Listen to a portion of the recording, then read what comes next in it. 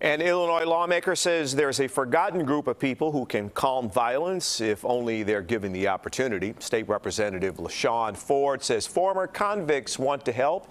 At a news conference this morning, he spoke on their behalf about what they are capable of and what they need.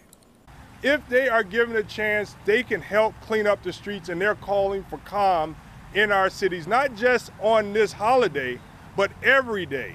And they're asking for the state, the city, and the county to support their efforts to cut down on the violence and to make sure that people with backgrounds don't recidivate because they can't get a job.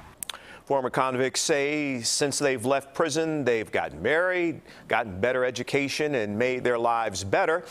But often they can't even find housing because of their past.